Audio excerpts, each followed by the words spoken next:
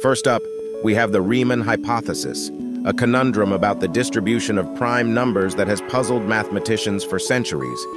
Next is the Goldbach's conjecture, a simple-sounding idea that every even integer greater than 2 can be expressed as the sum of two prime numbers. Despite its simplicity, mathematicians are still working to prove or disprove it. Next is the Collatz conjecture, a simple yet unsolved mathematical puzzle. Despite its apparent simplicity, proving the theory for all numbers remains an open question in mathematics.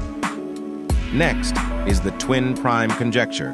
Mathematicians continue to seek a conclusive proof for the twin prime conjecture, which states that there are an infinite amount of twin primes. The last on our list is the Birch and Swinnerton-Dyer conjecture, one of the seven famous Millennium Prize problems challenging mathematicians to unravel its mysteries and provide a rigorous proof.